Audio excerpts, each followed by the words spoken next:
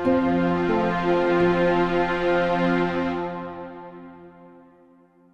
3 PDAC 2023, and I'm with one of my favorite colleagues in the critical mineral sector. How are you today, Russell? I'm great, Tracy. Thank you for having me today.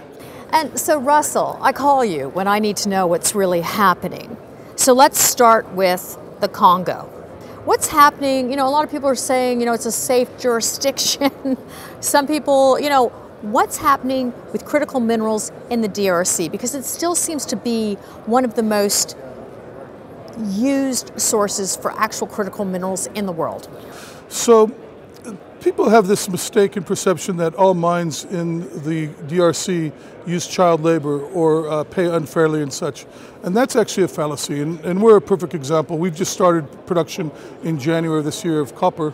And we have no child labor. We know exactly who we hire. We have background checks and such. So we know what's going on. But if you take it from a, a macro basis, the government, the United States government, has entered in December of 2022 a memorandum of understanding between the U.S.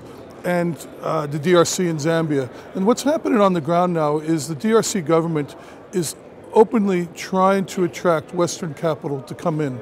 They want a, a, competition to the Asian investors that have been there for 20 years or so. And so what's happening is, is in fact, they're here at, the, uh, at PDAC talking to companies like ours and talking to new companies, saying, hey, we are open for business. Um, the the uh, noise from the past in terms of governance and labor and such, we are cleaning that all up. We, we want our kids in the schools. We don't want them underground trying to mine. So there's been a sea change in terms of the investment philosophy and how the government looks at uh, Western capital. And I'm just going to put you on the spot. South Africa, critical minerals. Give us an update. Well, there's a lot going on in South Africa in terms of critical minerals.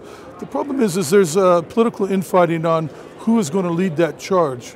Um, and I think you're going to see a cabinet reshuffle here in the next few weeks or so um, as the uh, budgets come out and as the ANC decides who they want to put into uh, their positions it's well endowed with critical minerals. We've, we've looked at a couple acquisitions there.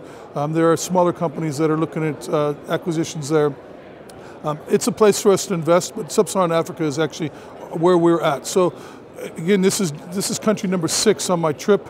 I started in Zimbabwe, I went to South Africa, I went to the Congo to look at our mine, I went to Rwanda, Tanzania, and uh, there is absolute plethora of investment opportunities there for Western capital and for capital such as, as critical metals.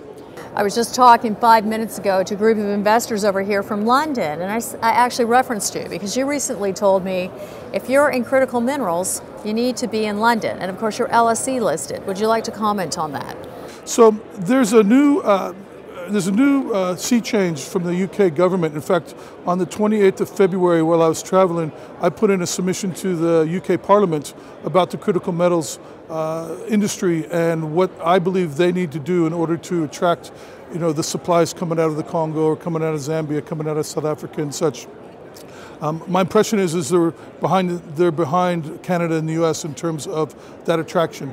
Um, so they are trying to uh, get supplies to companies like Rolls-Royce or British Aerospace in terms of what's required uh, for them to have proper output, aerospace, satellites, um, etc. And so they know that should China turn off that flow uh, that's, that they've been purchasing, they're going to have problems, certainly from an economic viewpoint. And they're having struggles already in their economy. You know, Brexit has caused some problems and such. So I think what's happening is, is you're starting to see things siloize. So you're having Canada and the US kind of team up as one silo, and I am seeing UK and EU team up as a second silo um, to try to capture those necessarily critical metals that they require to run their economies. Jack Lifton and I have been going back and forth about this trend we're seeing about large automotive companies actually looking at exploration companies. We asked Constantine Karayannopoulos about this this morning, and now I'm asking you.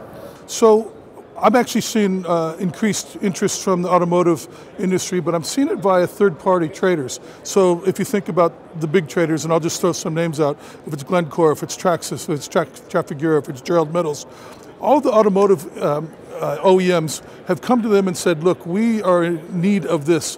Please go find it for us.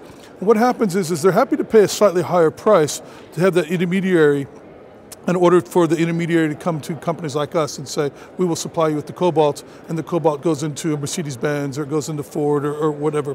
So, absolutely seeing more of that type of, of growth from the Fords and from the Mercedes Benz in particular uh, on the ground. So, who are they hiring for brokers, though, Russell? Where are they finding competent talent that can actually make these professional decisions? So, I've heard rumblings that um, the OEM automobile manufacturers are actually sourcing directly from some of those companies that I mentioned earlier who are global metals traders. And they're going to bring some, one of those, two of those people in house uh, to do the layers because they know A, the mining side, B, they know the trading side and how to price it, and C, they know, obviously, know the logistics side, which is very important. If you think about how we would get our cobalt from uh, the Congo or our copper from the Congo into Mercedes-Benz plant or into a Ford or Volkswagen plant. Um, you know, those logistics are pretty uh, complicated, and so they've made decisions. Some of them have made decisions to actually poach from a Trafigura or a Traxys or even a Glencore to bring them in-house to help manage that supply chain. Well, as always, Russell, what a pleasure. Thank you very much, Tracy, for having me.